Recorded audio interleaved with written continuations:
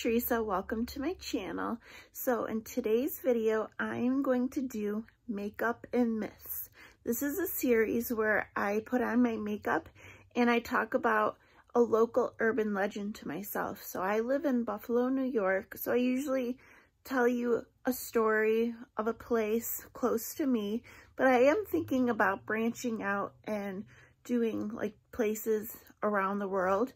So if you have a place by you that has urban legends, scary stories, anything like that, I would love to know and I could research it.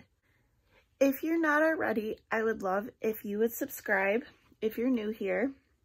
And for today's Makeup and Myth, I'm going to be talking about the Buffalo State Asylum. So I'm going to start doing my makeup before I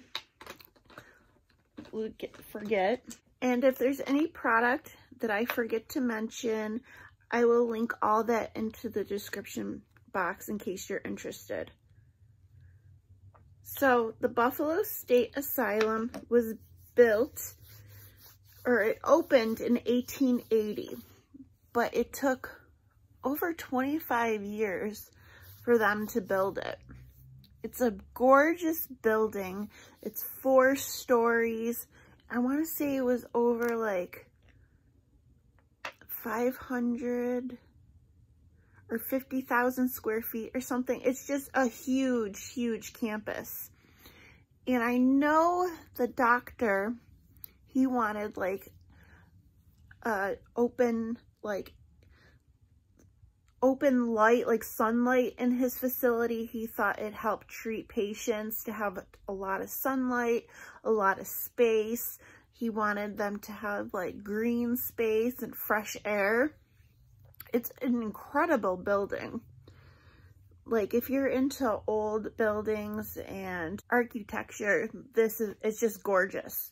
They actually um, put this asylum in the National Register of Historic Places. I know they did start tearing down one part of the building, like before it became a, a, landmark, but now it's all protected. So in the late 60s, the asylum became very overcrowded, like over 3,000 patients.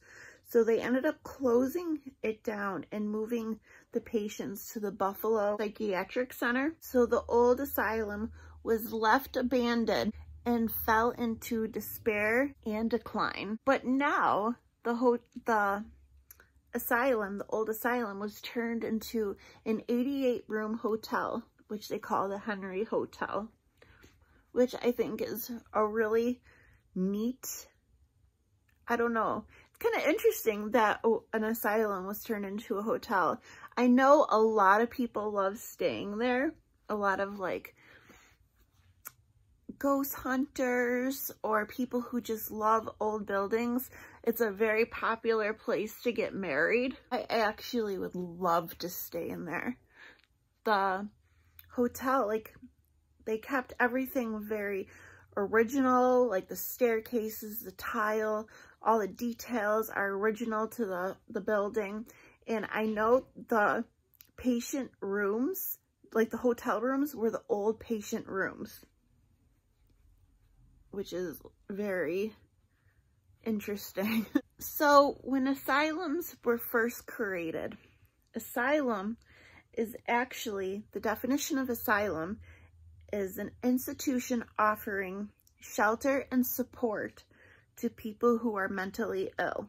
So it was supposed to be a place, like a safe haven for people. Because back in the 1800s, if people had mental illness, they were either homeless, like they lived on the streets, um, they starved to death. Well, in New York, every county started to build an asylum to house people with mental illness. Well, back in the 1800s, they had very inhumane ways to treat the mentally ill. They have learned from them that those practices, thank goodness, But some of the treatments that they would do would be lobotomies, lobotomies, where they would drill a hole in your skull and I'm pretty sure they would like destroy a part of your brain. And they would also use an ice pick method to achieve this. I have read that that, you know, procedure is now outlawed. Outlawed, thank goodness. Because you pretty much turn somebody into a zombie. Like, emotionless, just, I don't know. I just think that would be terrible. Another treatment they would do is hydrotherapy. They would take cold water, is thought, to cool you down. Like if you're hot-tempered, uh, angry, aggressive, they would use cold water in either showers or baths. Or they would take warm water to calm your nerves. Like if you couldn't sleep, you had anxiety, you were stressed out, they would do that. But the treatments, I guess they still do hydrotherapy to this day, but it's much more humane the way they do it. Like they would leave people in an ice cold bath for hours, even up to days, or in scalding hot showers. And this practice happened in a lot of, like all the asylums back in the the late 1800s. Another treatment they would do is electric shock therapy, which I guess what they would do is send like electrical seizures to the brain and it would pe put people in kind of like an emotionless, like zombie-like state for days. I believe they still do. Oh, my cat just got one of my beauty blenders.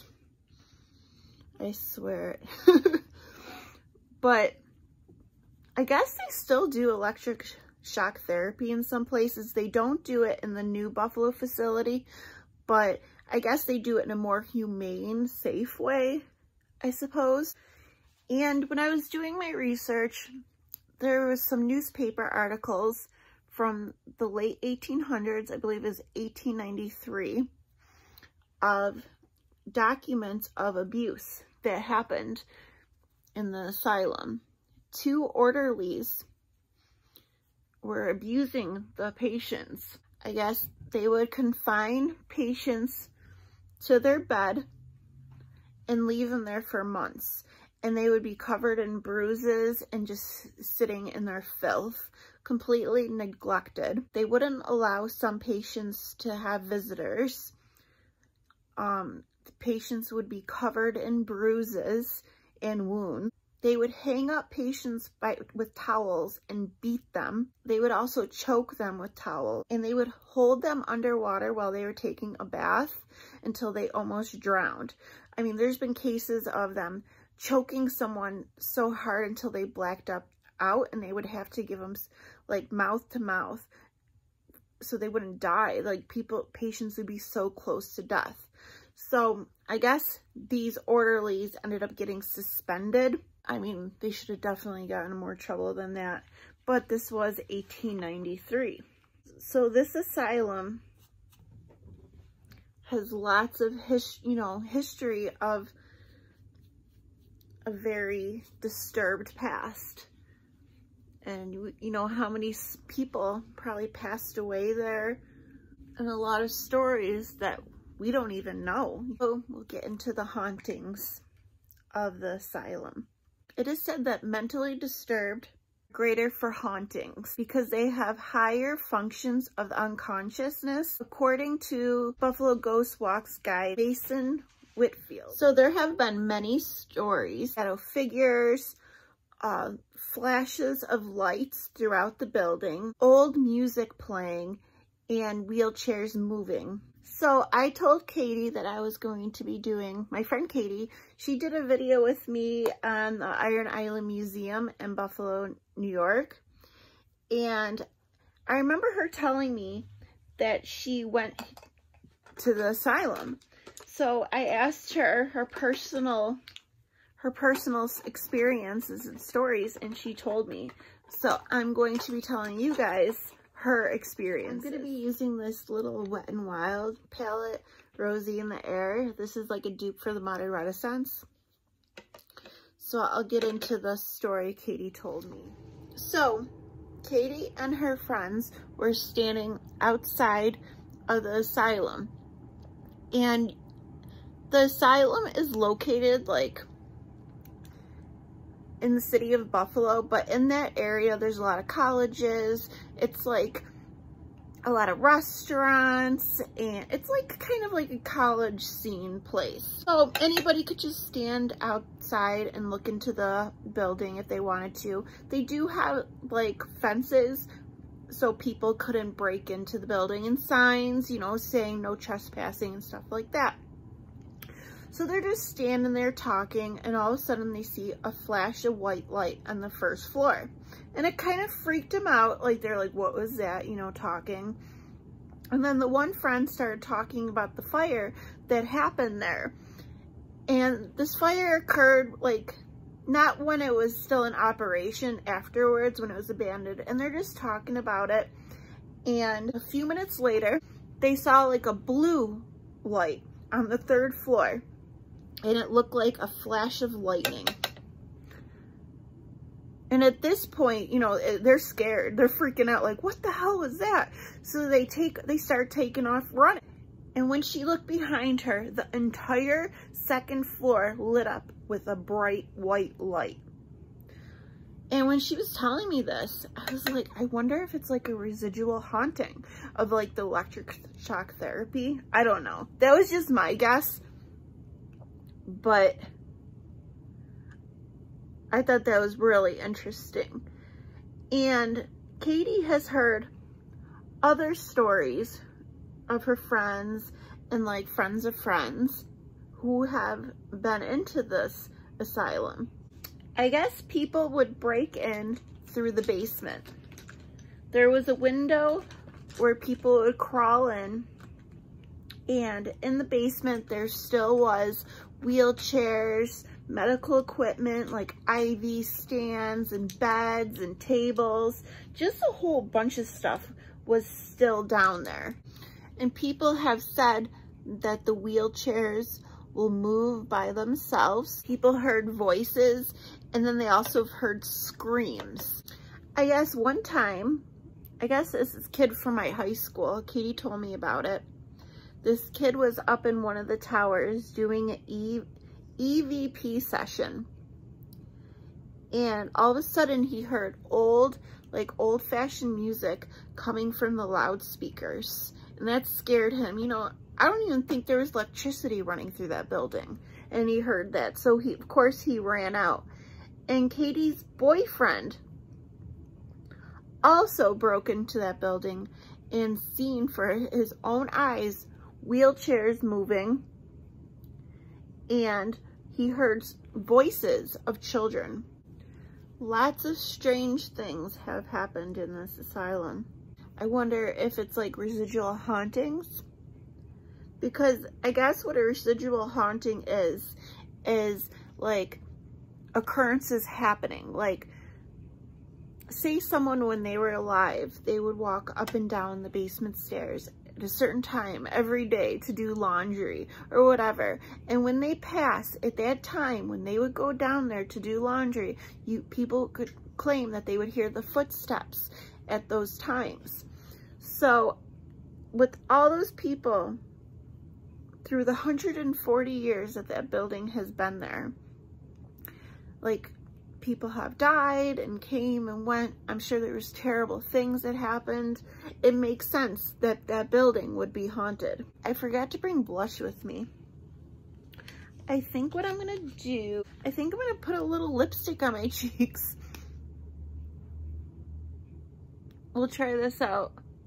Hopefully this blends. I'll put some lipstick on now too. This is from Bite Beauty. This is my Sephora gift. It's a really pretty mauve shade I think it's in glace. And I love how it has that point to it. So it's just easy for easy application.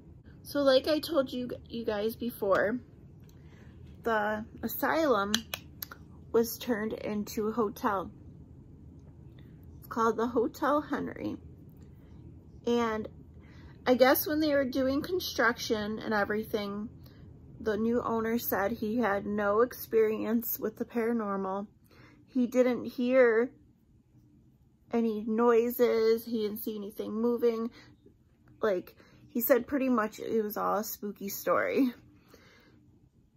And I don't know if he's just saying that because he doesn't want to scare people away from coming to the new hotel. But I don't know. What do you guys think of the stories and the asylum? Would you guys stay at a hotel that used to be an asylum?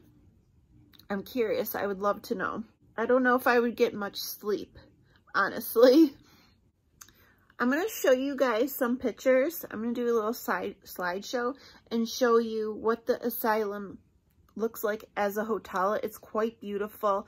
If you love like architecture and old tiles and old-fashioned staircases, definitely, you know, check that out. I'll show you guys now.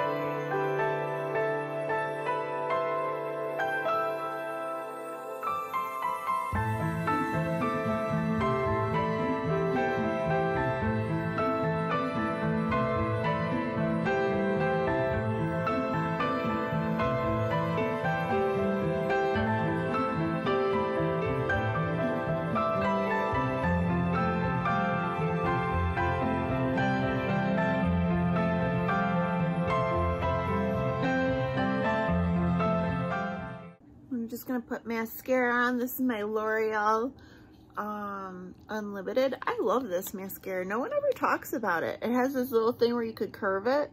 And I'm going to set everything down with this iconic London Prep Set and Glow. It's so pretty. Alright guys, so that's it for my makeup and myths. I would love if you guys would like and subscribe. And if you are interested, I do have a playlist. I'll link that down as well. It's like my Halloween playlist. I have other makeup and myth stories.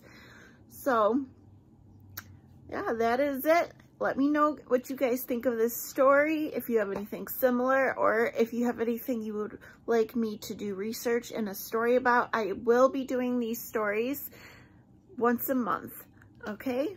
All right, guys, I will see you soon. Bye.